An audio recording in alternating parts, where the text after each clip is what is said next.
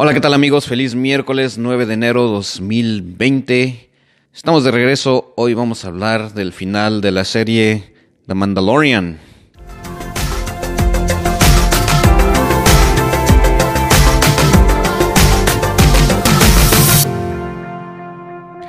Hola, ¿qué tal amigos? Pues estamos aquí de regreso, amigos. Abner, ¿cómo estás? Muy bien, muy bien, muy buenos días, muy buenas noches, muy buenas tardes, muy bueno lo que sea, donde quiera que nos estén viendo o escuchando. ¿Qué tal Armando? ¿Cómo estamos? Pues estamos, que ya es ganancia. Eso es Toño. Eso es Toño, dijo el tigre. Ah, bueno, regresamos porque vamos a hablar de el final del Mandalorian. Lo prometido es deuda. Ya acabamos de El ver. Mandalorian. Este, espero que sea el último video de Star Wars que hacemos en mucho tiempo, porque si no la gente va a empezar a pensar que soy fan de Star Wars y no. no soy tan fan de Star Wars, pero pues sí me gusta. Yo sé que en secreto eres fan de, de Star Wars. Y yo sé que, así para que nadie se entere, tu personaje predilecto es Jar Jar Binks. el más amado de El toda la, amado de de todo todo el Star universo Wars. Star Wars. Ay, ay, ay. Pero bueno, acabamos de ver este Mandalorian al final. ¿Qué te pareció? Originalmente, incluso está en el podcast anterior del Mandalorian, de los primeros dos o tres episodios que vimos, eh, que te pregunté cómo era esto de la serie y me dijiste que era una serie de ocho capítulos. Y yo me quedé con esa idea de que nada más eran ocho capítulos y se acabó, que no iban a sacar más. ¿Y cuál va siendo mi sorpresa? Que viene la segunda temporada. Sí, así es, nos dejaron este ahí, este ah, en suspenso al en último. suspenso, claro. Este, fíjate, yo pensé que tenía esa idea de que, o me fui a la finta yo que, esta serie iba a tratar de, sí, es del Mandalorian, pero una historia acerca de, Baby Yoda, o del Baby Yoda. Y cuando al final, pues estoy viendo que ya conforme va pasando la, la temporada y especialmente los últimos capítulos, eh, envuelven, ahora sí que nos dan la historia completa o, o ya eh, cierran esa de, de- del Mandalorian, de quién es el Así es. Mandalorian, cómo se llega a ser él, eh, y por qué es como es. hasta Que a fin de punto. cuentas no es, no es que haya... eh, aprendí yo también eso, no lo sabía. Eh, un mandaloriano no es una raza, no es un, un, eh, una especie. Los mandalorianos es una religión, un credo. Como una forma de vida, sí, un credo. Exacto, exactamente, dicen ahí claramente, es un credo. Y me pareció interesante porque en este caso quiere decir que se puede convertir en Mandalorian cualquier especie. Simplemente que en su mayoría son humanoides. Y Sí. como nunca se quitan el casco, existe el chance de que sean otro tipo de especies. Sí, y, y sí, pues ya en ese último capítulo donde ya miramos ahora sí todo el flashback de, de cómo es que eh, se ¿Cómo? llama, ¿cómo se llama? Din, Din Djarin. Din Din Djarin, creo Djarin, que se llama. Me suena como a chocolate de, de allá de México, suizo, de Tin chocolate Larín. suizo, ándale, de los chocolates Larín. Din Eh. No es comercial, ok, no es comercial. No, no es comercial. Aparte que esos no los venden aquí. Eh, pero bueno, y sí, ya nos muestran en ese flashback cómo, cómo es que él este, eh, es encontrado por los mandalorianos. Así y- es. Y hasta eso, y, y eso ahora sí que explica también este, esa conexión que tiene él con, con Baby Yoda. De, de por qué lo cuida, por qué se siente... cuida, por qué siente, por qué lo protege. Exacto. Y pues al último ahora sí que le dicen, hey, pues es tu responsabilidad. Dependiendo precisamente por el credo que ellos manejan. Que exactamente. entonces ahora él es prácticamente su padre hasta que o se convierte en un Mandalorian el, el Baby Yoda o, O que encuentre la a su gente. edad. Que cuando alcance la mayoría de edad que se convierte en un Mandalorian o en su caso que se, se- que encuentre a su gente, a su, a su raza. Entonces, pues, Imagínate un Yoda Mandalorian Mira, exactamente lo que te iba a Jedi. decir. Es lo que te iba a decir ahorita. Imagínate un, Yoda mandaloriano y con poderes de, de la fuerza. Pero no sé, no sé qué vaya a suceder ahí, porque te das cuenta que en lo que fue la saga de Skywalker, bueno, de, de- de las últimas tres películas, no hablan para nada. En lo más mínimo, en primera, de Mandalorianos. No. Ninguno. No hablan de ningún clon, Baby Yoda, un rezagado este, clon de alguien, nada de eso. Todas la- la- la- las tres películas se la llevaron en que Rey tenía que descubrir quién era, llegar hasta este, esta culminación donde es la nieta de Palpatine. No hay nada que involucre Mandalorian con Star Wars. siendo que es el mismo universo. Pero, ¿te, te acuerdas en la primera película, en la- bueno, el episodio 7? Creo que sí fue el episodio 7, donde sale un Stormtrooper, pero con un traje plateado. Un traje plateado. Me quedé yo con la duda, porque si te fijas, el rifle que usa es el mismo que trae el Mandalorian. Eh, Ese, ese rifle largo donde avienta la descarga eléctrica. Es Sí. como un impulso electromagnético. Entonces, no sé si tenga algo que ver, porque a fin de cuentas, ese personaje, ese, ese trooper que es plateado, es, es una mujer. Ajá, sí, correcto. Es una mujer. Y ahora, recordarás que en el Mandalorian está la. la em, ay, ¿cómo se llama esta mujer? La, la armera. Ah, sí. La armera, que es Emily Swallow. Ella es mujer y tiene conocimiento en tácticas de guerra y demás. Podría darse el chance que fuera la misma persona. Existe esa, ese puntito de duda. Sí, ahí sí nos dejó esa duda. Fíjate que otra cosa que noté también, eh, y eso ya en el Mandalorian, es eso, y creo que me lo habías comentado tú también, es... ¿Nadie recuerda a los Jedi?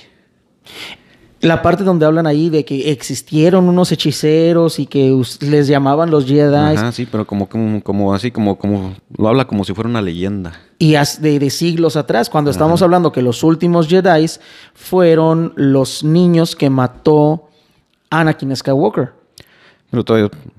Si, si esto pasó, que es cinco años después del episodio 6.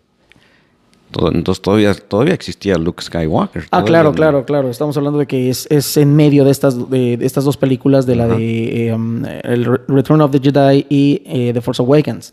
So, en, en- en estos dos episodios, eh, el hecho de estar el Mandalorian, que no embona en muchas cosas, como si estos hubieran estado en otra galaxia muy, muy, muy lejana y no supieran Pues de lo que, que estaba hablan, de que, hablan de que están en los planetas de, así que de la orilla de- del territorio que, que sea el- la república o el imperio, lo que haya sido. Más o menos. Y si te das cuenta, cuando él está en la nave, que está en, en, por así llamarlo, su GPS espacial, que es como un círculo con varios puntos manejado por sectores. En uno de los libros que, que había visto de Star Wars, así es como manejan el, el- la galaxia conocida, el, el universo conocido. Hasta, hasta ese, ese límite en donde están todos estos Star Trek se planetas. hace algo similar. Es hasta ahí, todo, todo este círculo en donde están todos estos planetas. Obviamente están muy lejanos unos de otros, pero lo toman como en un mapa para ubicarse. Después de eso, ellos ya no tienen ningún control sobre el universo. No han llegado más allá. Hablando de que estamos hablando de punta a punta de, de la galaxia. Más allá de la galaxia. Entonces, por los planetas que iba manejando él, que, que se estaba, eh, por así decirlo, moviéndose, que incluso llega a, a Tatooine, que es el planeta sí. en donde estaba Skywalker, donde estuvo esta eh, Anakin, Anakin. todo esto. Si te das cuenta, entra al mismo bar donde entra este Obi-Wan Kenobi con Luke buscando a Han Solo. Y en donde está sentado el tipo este que quiere convertirse en un, en un eh, asesino, en un, este, una parte del, del, ¿cómo le llaman? El, El credo. el- no, no, no, no, no, no, no, de la de los, Ah, del crimen, de los, sí, de, sí, los la- asesinos a sueldo. Ajá, sí. Eh, este muchacho está sentado en la misma silla donde estaba sentado Han Solo. Y platican en esa mesa donde hicieron el acuerdo Han Solo con, con eh, Obi- Obi-Wan Kenobi. Sí, es el mismo lugar, pero ya más tranquilo, sin tanta gente, no hay música, no hay tantos monstruos todo alrededor. Entonces, quiere decir que estaban cerca de, de ciertos planetas que según para la República y para el Imperio eran de los más alejados de lo que era, por así decir, este el planeta de Leia, de Ah, mm, ¿cómo se llama el planeta de Leia? Que también era de Padme. Asistente número 2. Del que me acuerdo muy bien era del, de los Ewoks. Endor. y eso porque había una caricatura. Endor. Endor, así se llama el planeta donde están los Ewoks. Que por cierto, esa es otra, es otra historia. No se sabe más de los Ewoks. Hay una, No. mi- una pequeña aparición de los Ewoks en la última película. Al último. Al sí, último se ven, cuando están explotando las naves sí. en el cielo, salen dos Ewoks. Sí, sí. Es todo lo que se vuelve a hablar, pero tampoco se vuelve a hablar de los eh, Wookiees, que según eso están extintos. ¿Qué pasó? ¿Cómo, perdón? Alderaan. Alderaan. Alderaan. Sí, se me hace que está Griff Carga, que es la... No, no, perdón. Era Cara. Cara Dune. Cara Dune. Gina eh, Carano. supuestamente, supuestamente es de ese planeta también. De Alderan. Ujú. No le, en eso sí no le, no le puse atención. Pero este... Porque pero ese sí, planeta es- quedó destruido. Sí. Recordarás que fue el- primer planeta que vemos que vemos cómo explota en la estrella, galaxia. con la estrella de la muerte. Exactamente. Pero sí, o sea, es, es- es raro que, que no saben de los Jedi, que no saben de, de esto. No, no, no, no encaja. En la historia no encaja el hecho de que como que fueron así mm, hace mucho tiempo Ajá, en una galaxia una, lejana. mención así como una, así como una lejano, como una leyenda urbana. Porque repetimos, en este, en este caso, Luke ya se convirtió en Jedi. Al- aunque fuera el último de los Jedi que existiesen, estamos hablando de que al menos unos, ¿qué serán? 20, 30 años atrás todavía existía la Orden Jedi, que fue en la Guerra de los Clones y eh, la revancha de los Sith. Así es que no es Sí, no mucho es tiempo mucho como tiempo. para olvidarse de los Jedi. entonces supongo que todavía está Luke activo, o sea, sí, en algún tiempo entre allí y, y, y el episodio 7, pues él se alejó de los Jedi, pero supongo que cinco años después seguía activo, de alguna manera u otra. Porque a fin de cuentas le, le empezó a enseñar a... ¿Qué dice nuestro asistente número uno? ¿Qué pasó?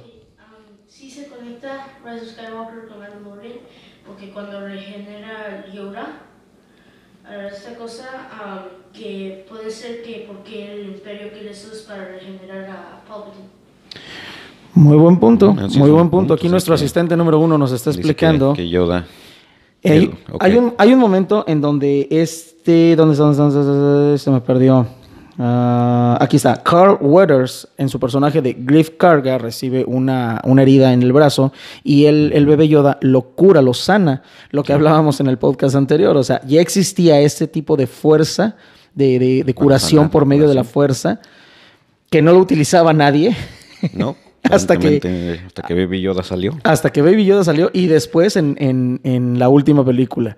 Entonces, aquí lo que nos dice el asistente número uno es de que el imperio lo está buscando precisamente para poder re- regenerar a Palpatine. Pero se supone que nadie sabía de la existencia de Palpatine. El único que pudiese medio saber de su existencia era Snoke. Porque dijo Palpatine que era, que era un- uno de sus títeres. Y tampoco hay mención de Snook aquí en, en el Mandalorian, si es que... Todavía no existe Todavía entonces no. en ese entonces. Pero me da a entender que este tipo que sale aquí, am, ¿dónde está? ¿Dónde está? ¿Dónde está? ¿Cuál? Ay, se me fue su nombre. Que también salió. ¿Cuál? ¿El malo? El, Eh, sí, sí, sí. el este, último, este...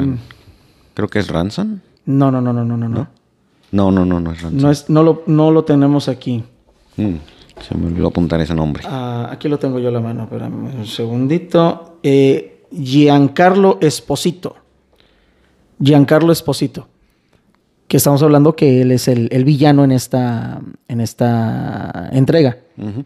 Entonces, al momento de que saca una espada tipo sable, no, es una cutlass. Ese tipo de espada se le llama cutlass. Ok. Una cutlass negra, muy parecida a los sables de luz. Pero si te das cuenta, esta tiene volumen, lo que no tienen las, las espadas de luz. La- los lightsabers es una especie de tubo de luz. Sí. Mientras que esta se ve que por un lado está, eh, tiene, tiene volumen y en otras cuando la mueve está muy delgadita. Que quiere decir que tiene esto. Eso, ese, es un- ese tipo de espada se le llama cutlass. Tridimensional. un Exactamente, entonces tiene una, una cierta solidez esa, esa espada, porque incluso. Sí, se ve, la- se ve como si fuera una espada Regular. Espada, espada regular, nada más con, con, Un- con un- la aura de, un la, de aura- la- de la fuerza o lo que algo sea así de- de- de- del del dark side, no sé con exactitud que, que sea, pero me pareció interesante que por fin saquen un tipo de, espida- de, de espada perdón, diferente a lo, que, a lo convencional. Ah, dígame, asistente número uno. Que ya, ya ha salido muchas veces. Ah, caray, ¿en dónde? Que ha salido en Mandalorian y, y Jedi y que los que los tenían antes, el primero es Tare luego Pre Vizsla, Darth Maul, Kanan Jarrus, Sabine Wren, Y luego. No sé si alcanzaron a escucharlo, el micrófono está bastante retirado, A ver, ven, ven. pero acá, ven. Kaman yo para acá. para que... A ver, Para vuélveme a dar tu digas. concepto, por favor. Que ya ha salido hasta en el Clone Wars, la serie animada ya ha salido. Y que los que antes los tenían fue Tare Vizsla, él fue el creador. Pre Vizsla, Darth Maul, Kanan Jarrus, uh, Sabine Wren, Bo-Katan y Gideon, que sale Mandalorian. Darth Maul. Pero él tenía el, el sable doble. Fue el primero que sacó un, dable- un sable, un sable doble. ¿O de, de- en, qué, en qué serie le está sacando? ¿O en los libros, en los cómics? No, en uh, Clone Wars. En Clone Wars saca Clone ese Wars. tipo de espada. No la Mm, recuerdo, interesante. fíjate. No, pues yo como no vi esa serie, pues no, no, Como no, es Star decir Trek, no me que- interesa. Como no sale Picard en esa, no. O sea, olvídate de que yo le ponga atención. Pues sí, un poco regresando a la serie. Un poco. Ya se me fue el, el rollo. Eh, sí, interesante. Como te digo, yo me fui con la finta de que iba a ser una historia de Baby Yoda. Eh, al final no, al final fue la historia del Mandalorian. Tal vez en la segunda temporada ya, ya entren más a lo que es Baby Yoda y, y de dónde viene y de qué salió. Lo que sí supe es que no es un clon. O por ahí leí que no es un clon. O sea, es- fue creado como, como se reproduzcan esa, Esa especie. Esa especie. Eh, pero pues a ver qué pasa. Espero y confío que en la siguiente entrega nos den a un, ya no a un Baby Yoda, un Yoda un poquito más grande, ya un, tal vez un, no un adolescente, porque tendría que pasar muchísimo tiempo. Así de bebé y son 50 años. Pues, Imagínate. pues, Yoda tenía como 800, 900 años, ¿no? Cuando- Tenía los años de Matusalén. Que, que para que... Para que se convierta en un adolescente, estamos hablando que 900. mínimo necesito, necesita que pase que unos 100, 200 años, Ajá, probablemente. para, para llegar a la adolescencia. Entonces, imagínate. Mande, ¿querías decir algo? Ah, ¿que ¿Crees que va a salir como 20 más años que ya lo vemos otra vez? Mm, tendría que pasar muchísimo tiempo para ver a un Yoda más adulto. Porque si ahí es un bebé y tiene 50 años, su ritmo de vida es más, más lento que el de un ser humano regular. Para un ser humano 50 años ya es un anciano. Sí. Este sigue siendo un bebé. Y aparte, mm, no creo que vayan a adelantar tanto la serie, eh, porque ya 20 años ya estaríamos entrando en, en, en lo que son las películas. Claro, claro. Tendría- eso tiene que ser antes de eh, la fuerza despierta. Sí. Antes. O incluso dar pie a la fuerza despierta. A menos que al Disney, a nuestro queridísimo Orejas de Cartón, se le ocurra crear un vínculo entre Mandalorian y la Fuerza Despierta para crear un puente entre estas dos y hacer una película en medio de las dos. Como es Pues costumbre. ya veremos, a ver qué pasa. bueno, de los personajes importantes de, de la serie, pues el Mandalorian, claro está. Al último dijeron su nombre.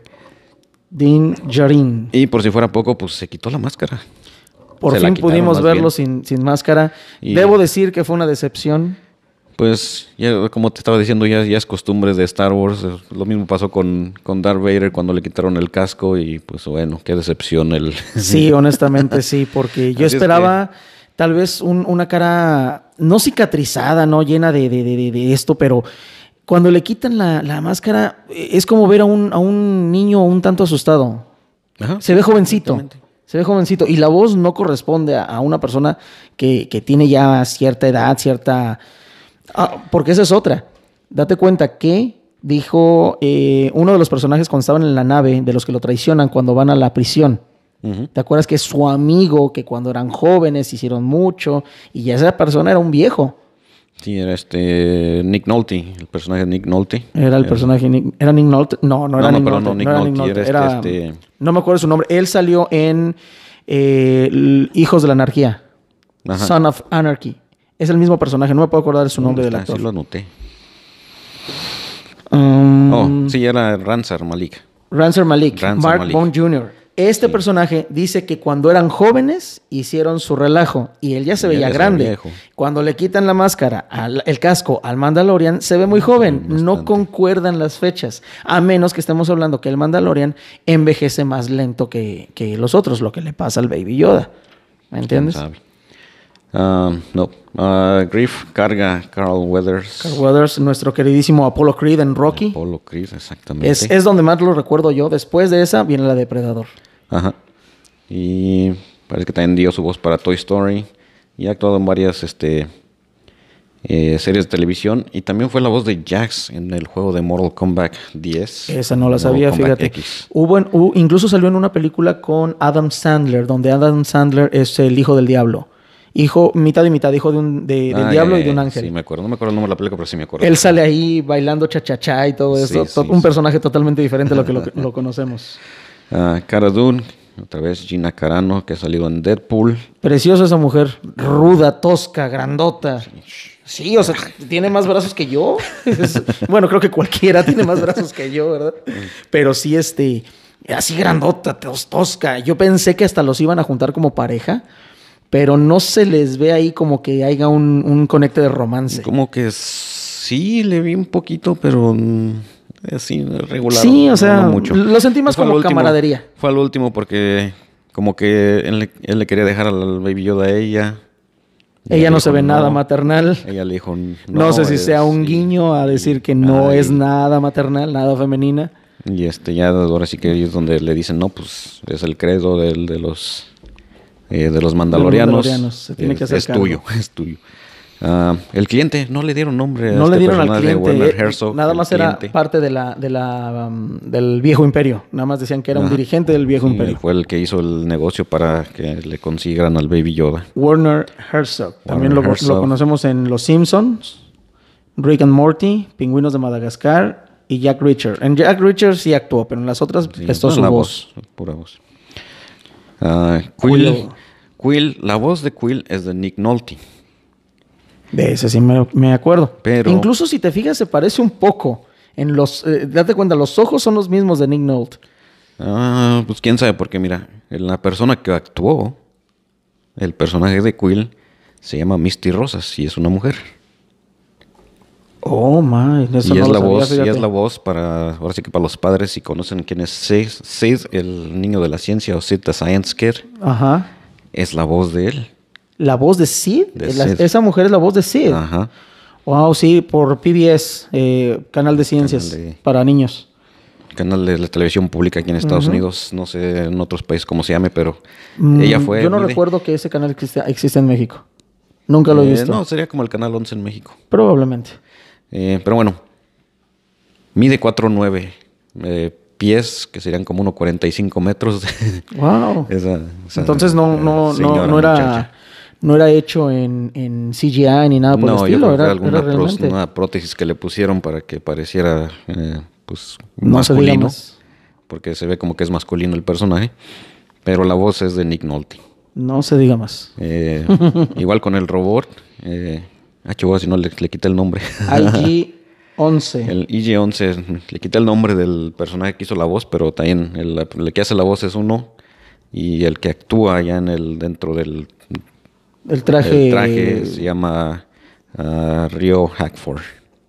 Jonah Hex, Deja Vu, Treasure Island. Pero el, el otro, la- otro personaje que también ah, salió en- es el Jojo Rabbit. No sé si has visto esta película de Jojo Rabbit, eh, es del, de Hitler, es, un- es como una comedia. Oh, sí, sí, sí. So, el que le hace de Hitler, Ujú. él es, Oh, sí, sí, sí. Él es el que Oh. hace la voz de, del IG-11. IG-11. Y también salió en Avengers Endgame y en Thor Ragnarok con la voz de Korg. Korg. Creo que es el, el este, el de piedra. Ajá. Ajá. Él es Korg. Él es el- la voz. La armera, que también no le dieron nombre, nomás es la armera. Armera, Emily Emily Swall- Swallow. Swallow, ha salido en SEAL Team, Supernatural. También ha dado voz en el- esta serie de Castlevania de Netflix. Y también estuvo en La Bella y la Bestia, también la serie. Wow. Ah, ¿Cuál, ¿Cuál de las bellas y las bestias? Porque ha habido como dos o tres, me parece. pues en una serie de televisión, no me fijé el, el año. Porque hay una con esta, la, la, la vieja que es con Ron Perlman y Linda Hamilton. Y la nueva que es que con. Kristen Dunst y... Ay, no me acuerdo del otro, del, del, del nombre del, del tipo que la hace de la bestia. Algo interesante, cuando miré el padre del Mandaloriano, dije yo, a este lo he visto en otro lado. Y salió en Betty la Fea. O Betty en Nueva York, perdón. Bernard Bullen, Bernard Bullen. Bernard Bolin. No, la, no, lo, no lo ubico. ¿Viste la novela de no Betty completamente. Nueva York? Me, me acuerdo de dos, tres episodios de, de Betty Nueva York. Al último, al último de la serie esta de Betty Nueva York, este sale este empresario español que es el que se enamora y como que convence a Betty de hacer el cambio de look. Ujú.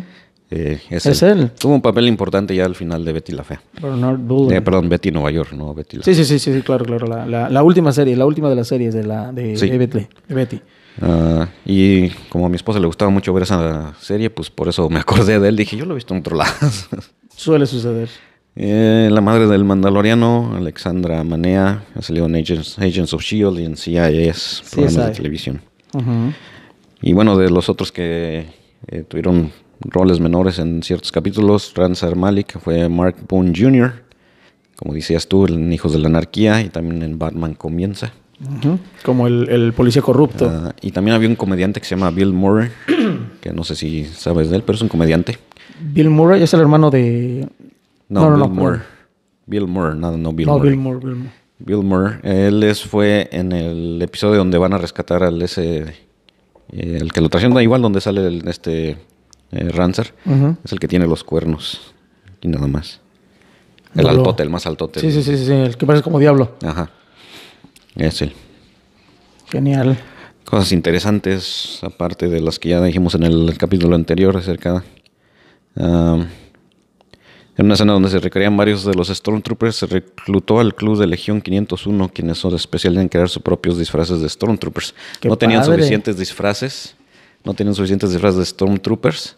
Y les hablaron a muchos ellos. y les hablaron a ellos y salieron ahí de extras. Eso, es- eso, es- eso estaría padre, que, que puedas ser parte de, gracias a tu hobby, gracias a, tu, a las cosas que te gusta hacer. Sí, padre, padre. A mí me hubiera encantado, desafortunadamente ya, ya terminó la serie, haber salido en Smallville.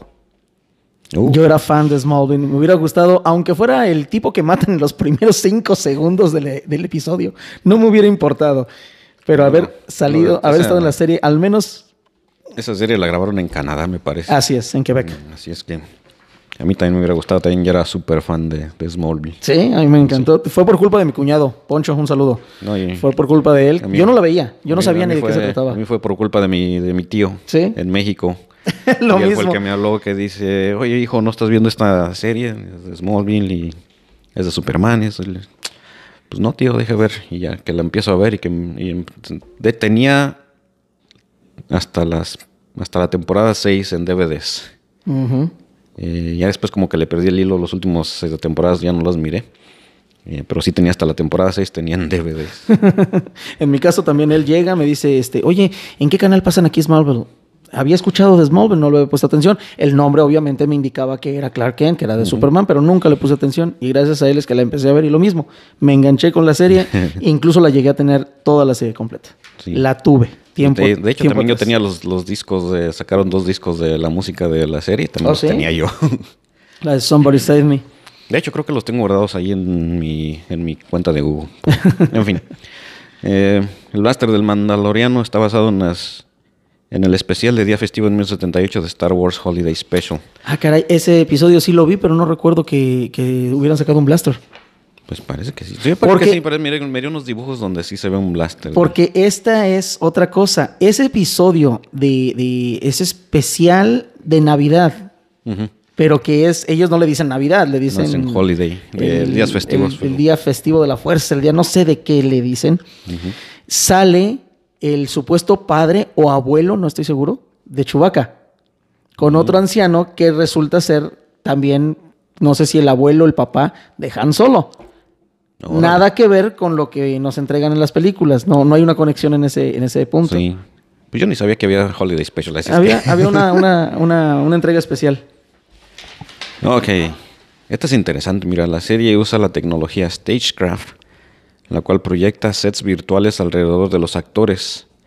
Según Kathleen Kennedy, productora del programa, un día un ejecutivo de Disney entró al ser, fue con John Favreau y le dijo, oye, pues no que no ibas a construir sets sin saber que estaba dentro de eso. O sea, eran proyecciones en las paredes, yo Oh, creo, del, del estudio. Sí. Y, y se miraban muy reales entonces, digo, porque... Este tipo de tecnología, la, la Stagecraft, eh, dentro de poco va a ser posible tenerla en casa. Bueno, dentro de poco tal vez estemos hablando de 5, 10, 15 años, no sé. Pero van a ser eh, al estilo del telón que tenemos nosotros detrás. Va a ser que son retráctiles, se levantan y es como una caja y tú estás adentro de la caja y tienes la proyección alrededor de ti y tú vas a estar jugando, interactuando por los sensores que tiene. déjame te cuento algo de eso. Cuando leí eso dije, lo primero que se me vino a la mente fue Star Trek. Dentro de Star Trek. ¿Por qué será? dentro de Star Trek eh, existen el- lo que le llaman universo. ellos holo, holo suites o Oh, cierto, cierto, sí, ya sé cuál dices. Sí, sí, me- sí recuerdo haber visto un entran, episodio de eso. Entran a un cuarto, tiene rayitas alrededor, Ujú. y luego ya nomás le ponen en la computadora, no, pues quiero estar en cierto lado, o ellos programan su propio programa Ajá. y ya se Aparecen como si aparecen estuvieran en el como si lugar. estuvieran Claro. ahí. Es O sea primero que se piratearon la idea de Star Sí, Trek. sí, exactamente. Como muchas otras cosas. So, muchos de los especies del, Mandal del Mandaloriano rinden homenaje al cine japonés temprano, de las primeras películas japonesas, especialmente Lone Wolf y, y donde un samurái viaja al Japón feudal con un niño a cuestas, así como vemos al Mandalorian con el Baby Yoda. Claro. Y Seven Samurai, donde una aldea pobre busca la ayuda de espadachines experimentados para protegerlos de los saqueadores. Y sí, tiene mucho, mucha similitud esa, esa, esos plantíos de, de... Ellos dicen que es que plancton, que parecen como camarones azules. Ah, sí, sí. Creo que le dicen plancton. Y, y parecieran ser los cultivos de arroz de, de China. De, Sí, sí. de- de, am, los cultivos que están muy, muy húmedos en Japón. Eh, no me puedo acordar de los nombres de, de estos, pero es, es muy, muy al estilo asiático ese, Sí. ese- esa aldea. Y, y hablábamos en el, pues, que en el episodio pasado, en nuestro programa pasado, de, de cómo George Lucas agarró, pues ahora sí que influencia de la Segunda Guerra Mundial de los nazis, pero también de los japoneses, que eran aliados, para crear lo que era... Claro. Saliéndome un poquito de, de lo que estamos hablando aquí, pero retomando lo que es en la aldea. La muchacha que sale ahí, la viuda que, que le pide al Mandalorian que se quede con, con, con ella, me quedó la duda porque nunca lo explicaron. Cuando él dice, alguien sabe eh, disparar y ella es la única que levanta la mano. ¿Por qué sabe disparar? Nunca lo dijeron, eso nunca lo no. explicaron. Hubiera sido bueno que ella en un momento dijera, es que mi esposo fue tal, o estuvo en las tropas, algo, o que ella misma fue una desertora de las tropas, algo, no sé. No, Pero no, le dieron seguimiento a esa parte. Ok, el episodio 2 contesta la pregunta de que si los Yawas son únicos de Tatooine, pues la respuesta es que no, se encuentran en varios mundos dentro del universo de Star Wars. Incluso en, el, en otro de los planetas, ellos están vestidos de gris, no de color marrón. Sí, exactamente. Ah, Warner Herzog nunca había visto una película de Star Wars antes de aparecer como el cliente. Afirmó que trabajar en Star Wars es cinema de lo mejor. pues, ¿qué te digo? Deja que trabaje en Y Star este, Trek y se va a dar cuenta que sí, Star Wars es lo mejor. Eh, eh, Este, Eh. Alfredo, si me estás oyendo, hola.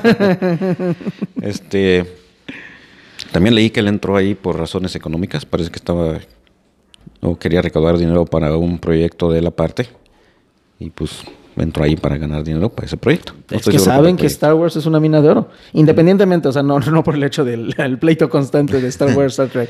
Simplemente que No, no, saben que Star Wars. Jala mucho Sí, dinero. Star Wars es, La es mercadotecnia máquina- de esto- Es una máquina de dinero más grande que Star Ya Trek, ves eso que para, para Navidad eh, no dieron idea del Baby Yoda, pero de inmediato se empezaron a mover y para Navidad ya había juguetes de Baby Yoda.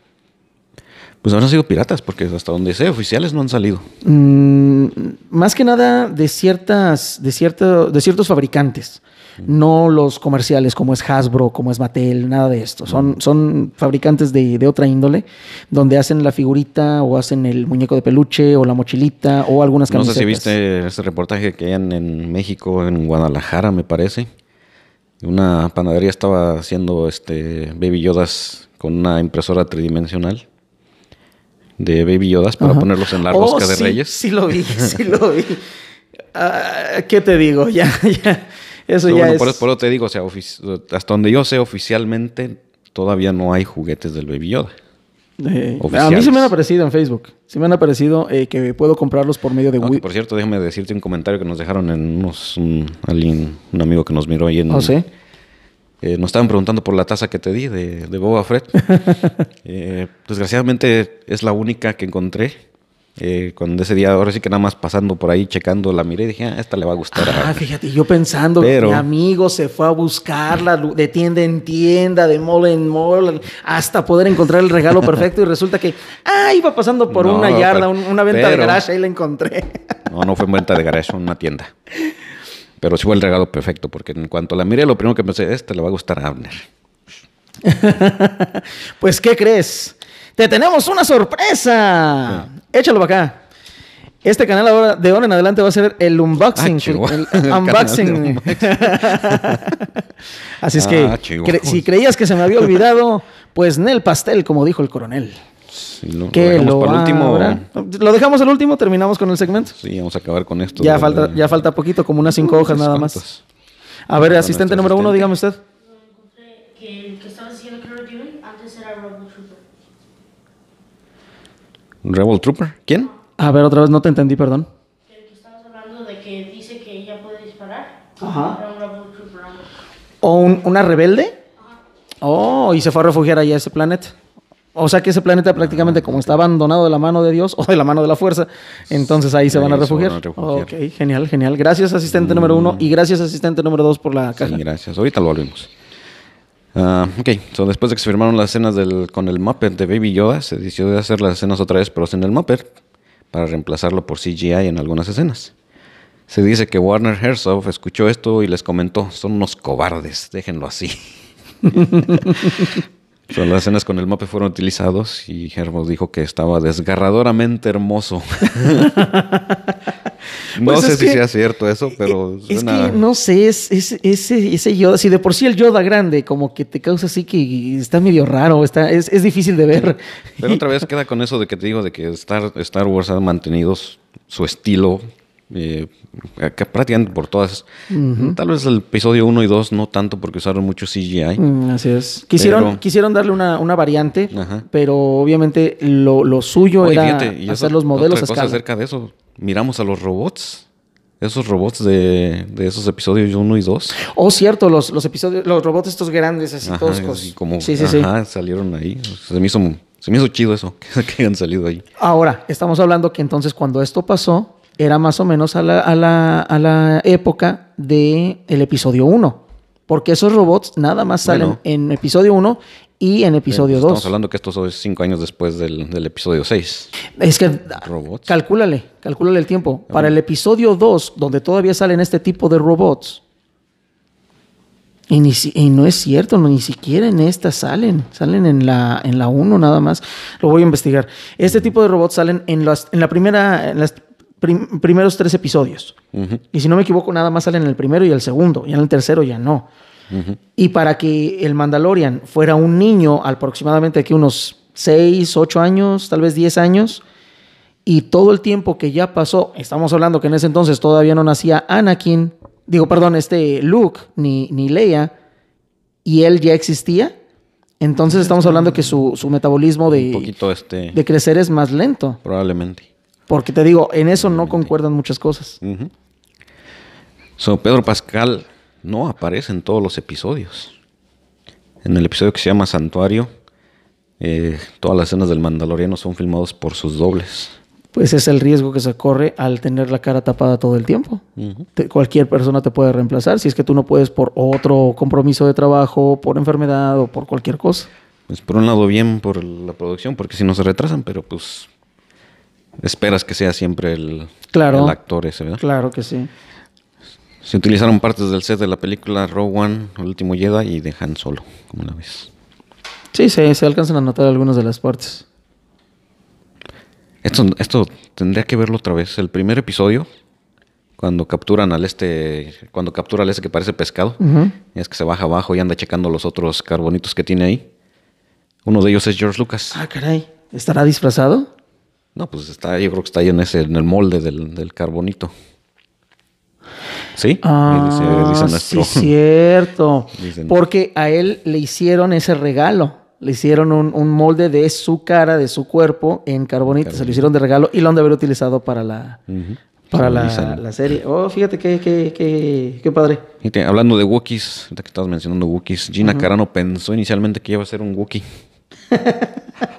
pues está grandota y Está está, así, grandota, está sí tiene el tosca, cuerpo sí. para, para hacerla de un Wookiee. Pero está bonita. Oye, ¿qué no era luchadora ella? No sé, sí, sí, tiene nombre de luchadora, pero no, no estoy seguro. Digo, tiene toda la pinta. No soy muy afán de los, de los luchadores. Una pregunta que te iba a hacer Dime. en ese episodio otra vez donde están rescatando al ese donde lo traicionan.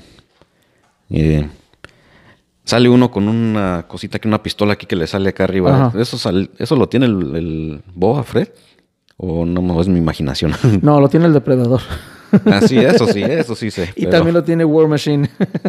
eh, exactamente. Pero no recuerdo haberlo visto yo en otra. Parece en que otro es- parece como que... O eso es la antenita que tiene aquí arriba que la estoy confundiendo. Eso sí, tiene una, una antena, un telecomunicador, eh, pero nada que ver. O sea, incluso cuando te fijas en el flashback que tiene el Mandalorian, el que lo rescata, en un momento yo llegué a pensar que era, era Boba sí, yo Fett. también cuando me dijiste Boba Dije, Fred. o sea, Boba o, Fett O lo- Django, uno de dos. O Django Fred o Boba Fred. Buen punto. Los, los uniformes están muy nuevos, totalmente azules. Todos Sí. están parejos. Entonces quiere decir que era la orden antes de que empezaran a ser erradicados. Porque Jango Fett, el traje que saca es entre plateado y azul. Boba Fett retoma este mismo traje, lo medio reacomoda y es un azul ya más pálido, más raspado, más viejo. ¿Te das cuenta? Es- tiene que ser uno de los dos Sí, sí. en la misma orden. Pero bueno, esas son cosas interesantes de la, de la serie, perdón. So, ¿Qué te pareció en total la serie? Y fíjate que el último capítulo tiene 100% en Rotten Tomatoes. Y se me hizo muy buen capítulo, ¿eh? Se me hizo muy buen capítulo. Incluso te deja con ese saborcito de quiero ver lo que sigue. ¿Por qué? Porque el otro sobrevive a la. sí, a a, mí- la- a mí me deja, me deja esa duda de que si este personaje, que es el malo, pues, Ajá. es un Sith, o puede ser un Sith. Mira, ser. para empezar, la nave que usa es el, el mismo tipo de nave que traían los. Darth Vader, ¿no? No, el de Darth Vader era más cuadrada. Esta era totalmente redonda. La de. Darth Vader es, es semi-redonda por enfrente y alargada. La que traían los troopers, que estaban de, de color negro, ellos sí, era redonda con las dos eh, a los lados. Entonces, estamos hablando que es un nave imperial. Y por Sí. todas la- las cositas que traía aquí, daba a entender que era por parte del, imperial, del- del del imperio, imperio. que no- antiguo no- imperio. que no, no cedieron ante los rebeldes cuando el imperio cayó. Y estaban, eh, me imagino yo que de aquí se va a darle la- el punto para la nueva orden. La primera orden, la que La sale en, sí. en- en- Tal vez tenemos La fuerza despierta. siguiente temporada para ver. Por cierto, ¿Dónde ¿tienes una, idea de cuándo va a salir esa temporada? No han dicho. Pues va a ser este año, pero tal vez A finales ya de este finales. año. Probablemente. Este, pero sí, o sea, deja eso en duda. Pues deja en duda quién es Baby Yoda. Nos damos cuenta del Mandaloriano, de, de quién es de su pasado, un, un poco de su pasado, por lo menos de su infancia. Claro. eh, cómo es que él llegó a ser un Mandaloriano. Eh, en es- esa parte como que sí, sí cerró. Eh, tal vez en la próxima temporada exploren un poquito más ya su entrenamiento o, o qué Porque es, cómo, cómo entra a lo que es el credo de, de los Recordarás cómo intentó ahorcar a Gina Carano. Baby Yoda. Eh, La, la tenía agarrada y al puro estilo de, de Darth Vader. Entonces existe el riesgo de que se pueda hacer un, un Sith si no lo encaminan bien a este bebé Yoda. Pues sí, va a ser interesante porque pues si, si ya no existen Jedi en ese tiempo, entonces ahora sí que le va a tocar al Mandaloriano crearlo y el Mandaloriano lo va a crear a sus... ¿Como Mandaloriano? A sus, a sus- a- sí, A- a su- a su credo. Exactamente. Va a ser interesante Genial. esta siguiente temporada, pero muy buena la serie de Sí. Mandalorian, toda en su totalidad, todos los capítulos, creo que mm, a cierto punto sí llegué a sentirlo como, como ahora sí que para tomar un, algo de Star Trek episódico. y ciertos capítulos como que no te daban mucho fuera que fuera acción, eh, pero, pero bien escritos, o sea, no, no miren ni un, ni un este, episodio malo en, este, en esta serie. Y pues ya al último ya cierran este, ciertas cositas con, con referencia al Mandaloriano. Nos deja todo abierto del Baby Yoda. Claro. Y nos deja muy y, abierto. Y van a ir a la de- búsqueda de, de su raza. De que este, el, el mandaloriano, no creo que se lo quiera quedar para criarlo. Dudo mucho que vaya a ser esa la, la intención. Se ve que la intención es buscar a, a su gente y entregárselos, aunque está dudándolo porque dijo, es una raza de enemigos hechiceros. Cuando está hablando con la armera. Dice, es una raza de, hechicero- de enemigos hechiceros. Y quieres tú que se los entregue. Y la otra le contesta, así es el, el camino, es, así. credo, el camino es así, exactamente. sí le dice. Pero vamos a ver qué pasa con eso y pues si no la han visto, véanla. Otra cosa que también miré es la serie más pirateada del año pasado. ¿Por qué? Eh, Porque Disney Plus todavía no está en, en- en muchos lugares. Oh, ya, ya, ya, Entonces-. Pensé que te decías tú pirateada de las imágenes de la. no, no, de la- no, de la- pirateado, o sea, la serie completa pirateada. Uy. Porque no está en muchos, todavía no está en muchos lugares del mundo y este, y pues la gente la quiere ver. Está, Claro. es, es muy pedida, eso sí, esta vez tiene. eh, ¿cómo se- pues, su popularidad está, es bastante grande. Entonces la gente la quiere ver. Claro. Dígame usted, eh, asistente número dos. Que supuestamente los nuevos episodios de Mandalorian van a salir um, fall. En el otoño. Sí, como tú lo decías, lo más probable es de que sean para Octubre. finales del próximo, de este año, perdón. Octubre, noviembre. Pues esta, esta comenzó en noviembre, ¿no? Más o menos por ahí. Entonces, probablemente en las mismas fechas. Vamos a tener que esperar bueno, a ver vamos qué a ver sucede. qué pasa. Pero no dejan morir la, la franquicia. Ese es el punto, que quieren, quieren seguirla teniendo viva para seguir teniendo a los fans. Claro que sí, si siguen haciendo series como esta, va a tener éxito por lo menos un poco más que las películas, ya que Yo sigo esperando la, la serie de la vida de Jar Binks. Oh, que por cierto, este Kathleen Kennedy, Kathleen. esta productora, es productora junto con, con John Favreau Sí. en esta serie. Eh, miré que tiene un lugar ya reservado para la siguiente trilogía, que ya va a ser parte del equipo de producción. Es que originalmente los libros de George Lucas eran 12. Ujú. Los Sí, episodios son exactamente. 12, pero lo recortaron hasta 9. Y obviamente empezó con las de en medio, para darle esa, ese matiz, ese sabor de, de- de- Por presupuesto, más que nada, es de que empezaron desde la 4. Sí, sí es que vamos a ver qué, qué pasa. ¿En qué sale? Pero bueno, ahora sí te lo voy a... Que lo abra, que se lo ponga, Ah, chulo. que lo que prenda. ya trae pilas. Mientras, mientras no sean este... Mientras no sean tangas. Armando, tú me conoces. Tú ya sabes cómo soy. Sí, por eso y te de lo digo. que soy por, eso, capaz. por eso te digo. Vamos a ver. Chinga. Ah, tú rómpele el papel por no decir otra cosa más fea. No, to- to- todavía somos un programa PG, así es que... No, si es algo bueno para envolver regalos. sí. Órale, un cereal. Para que desayunes con mucha sal- este, salud. para que empieces saludablemente este año. Una cajita de cereal. Muchísimas gracias. Chicos, pero pues... Ojalá y sea papel este Para cuando se te acabe el del baño. de dieta. para recordar viejos tiempos. Y como trae letras, así lo enseñas a leer. Sí, para, para recordar viejos tiempos, ¿no? Nada más lo mojas tantito. Cuando éramos pobres. Ay, mira nada más. mira nada más. Pero... Y bueno, nuestro próximo podcast probablemente va a ser acerca de Star Trek. Así Exactamente. es que muchísimas gracias, mira nada más. Y te voy a déjame decirte que la miré el otro, hace unos meses que fui a, aquí en, en el MGM hay una tienda de, de CBS Ajá.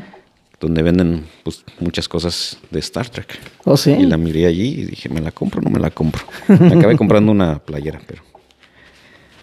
Ahí está, mira. Larga vida y prosperidad. Y que la fuerza los acompañe. Déjame decirte un adelanto acerca de- del podcast que vamos a tener de Star Trek. ah, sí, sí, sí, sí, sí.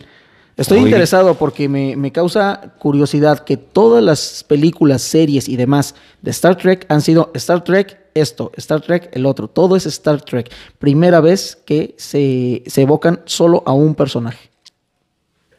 ¿O ya había No, pasado antes no. que lo habían hecho diferente? Bueno, Star Trek no es un personaje, ahora sí que Star Trek es... Por eso estamos hablando que Star Trek es, es el universo, el conglomerado de, de- de todas estas eh, series y películas. Y por primera vez la serie es Ah, o sea, de Picard, estás de hablando. Picard. Ah, ¿me sí, exactamente, sí, sí, sí. Tal vez es Star Trek, lo que quieras, Picard. Y lo primero que ponen enfrente es el nombre de Picard. De Patrick Stewart. Este, hoy puso Patrick Stewart un tweet donde habla de que pues este Star Trek ya no es el Star Trek de Gene Roddenberry, que es el creador de Star Trek, y que ha hecho enojar mucho a los fans de Star Trek. Ah, caray. Eso no es bueno. Es que te lo voy a dejar para el próximo podcast, explicarte por qué. Chan, chan, chan, Y algo que también, eh, inclusive yo estoy, ahora sí que con mi temor, Estás consternado, se te ve, Ajá. se te ve, estás este, muy por, afectado. por los cambios. y hemos hablado de que eh, para que algo sobreviva, algo artístico sobreviva, así como lo que es Star Wars, como lo que es Star Trek o cualquier otra serie que tiene continuidad por años, se tiene que renovar. Tiene que Evolucionar. entrar, evolucionar Claro. exactamente. Es ya Star Trek fue desde los 60 entonces no podemos contar las mismas historias de los 60 en estos tiempos. Un, un ejemplo, eh, en la mañana estaba viendo El Chavo del Ocho y sacan los mismos sketches. La diferencia es de que uno lo sacan con un personaje, otro lo sacan con otro personaje, pero eran los mismos sketches. Si no era la chilindrina, era con Popis. Si no era con el chavo, era con ñoño. Pero era exactamente lo mismo. Y no nada más era uno o dos veces, eran varias. Repetían el Sí, mismo repetían sketch. mucho, mucho y Y, mucho. y ese tipo de no evolución provoca que ese estancamiento provoca que la, la serie se vaya abajo. Y en este caso, si a Star Wars lo hubieran dejado en la misma línea, a lo mejor les funcionaba, pero proba- probablemente hubieran caído en que, ok, fue más de lo mismo, hasta ahí se acabó. Ya no más. Y, y Star Trek es, es, es lo mismo, o sea, lo, lo que se contó en los 60 no pudo ser lo mismo que lo que se contó en los 80 cuando salió la siguiente generación, que no es lo mismo que se contó en los 90 eh, ya con las otras series de Deep Space Nine, de Voyager. Entonces, ya estamos hablando que estamos en el 2020, es otro tipo de historia, es otro tipo de, también de, de cine- cinematografía también. Claro. Eh, so- son cambios muy grandes y Discovery es Star Trek Discovery, que es la serie mm, reciente que está, eh, causó ese enojo, tal vez puede decir, entre fans de antes y fans de ahora. Yo también en la primera temporada estuve diciendo esto no es Star Trek, esto no Sí, es Star Trek. de hecho, recuerdo haber visto una plática entre Alfredo y tú que decían, para empezar, los ah, Klingons es totalmente diferentes, no era lo mismo. Entonces, este- no le daban una continuidad a La segunda temporada mejoró bastante, en ya mostrar un poco más de lo que era el clásico Star Trek, pero con estos toques nuevos. Eh, y me gustó muchísimo esta segunda temporada de Discovery. Eh, pero esta tercera temporada también viene con mucho misterio porque hicieron algo que también eh, suena interesante, pero va a ser algo completamente distinto a lo que estamos acostumbrados a ver de Star Trek. Eh, y ya con este tweet que dijo este eh, Patrick Stewart hoy, pues también nos está dejando así la duda de que qué tanto va a resemblar o qué tanto va a parecerse al clásico Star Trek o qué tan adentro vamos a tener que buscar para encontrar el clásico Star Trek dentro de esta nueva entrega. Claro. Pues me parece Vamos a ver, excelente. interesante. Vamos a eh, ponernos al corriente con esto porque yo sí 20, estoy muy, 23, muy perdido en el, en el 23 universo Star Trek. de, de enero comienzas eh, Star Trek Picard. Eh, pero te había invitado porque hay unos clásicos, un- perdón, no clásicos, unos shorts, se llaman Star Trek Shorts, son episodios pequeños como de 10 minutos. Muy interesantes, muy bonitos, este, y, y que te dan este pase para Un preludio. un preludio a, lo que viene. Claro. Eh, y mañana sale el último antes de que comience Picar. Así es que ese va a ser el preludio de Picar. Genial. Así es que estás invitado, vamos a verlos. Y pues nos vemos aquí para la próxima. Muchísimas gracias, Downer. Muchísimas gracias, muchachos. Muchas gracias a ti, gracias por tenernos aquí. Muchísimas gracias a todos los que nos están viendo y escuchando. Y recuerden que aquí estamos en, a sus órdenes para cualquier comentario, cualquier, am, cualquier cosa que nos quieran decir. Estamos con los oídos eh, totalmente abiertos para ustedes. Eh, si gustan hablar de algún tema en específico o quieren que nosotros investiguemos acerca de eso, como no, con mucho gusto. Nos hicieron una petición, déjame que te lo comenté, nos A hicieron una petición para hablar de la película El Señor de las El Moscas. Señor de las Moscas. Este, así es que tal vez vamos a hacer uno por ahí, aunque sea pequeño, para hablar Claro. de, de esa película, de ese libro que muy interesante, muy... Y pues a ver qué pasa con eso. Ok. Para ¿Sale, traer insecticida para ese día. Claro que sí, ponernos repelente. ok, muchísimas gracias, nos vemos.